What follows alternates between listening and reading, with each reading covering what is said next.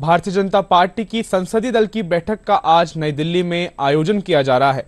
बैठक में प्रधानमंत्री नरेंद्र मोदी, भाजपा के राष्ट्रीय अध्यक्ष जेपी नड्डा सहित पार्टी के कई वरिष्ठ नेता भाग ले रहे हैं।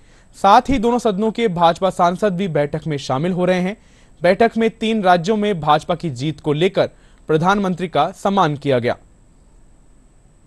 भारतीय जनता पार्टी की आज संसदीय बल की बैठक होगी। बैठक में प्रधानमंत्री मोदी, बीजेपी के राष्ट्रीय अध्यक्ष जेपी नड्डा सहित पार्टी के वरिष्ठ नेताओं के साथ साथ दोनों सदनों के बीजेपी सांसद शामिल होंगे। पाँच राज्यों में चुनाव नतीजे आने के बाद बीजेपी के संसदीय दल की ये पहली बैठक है।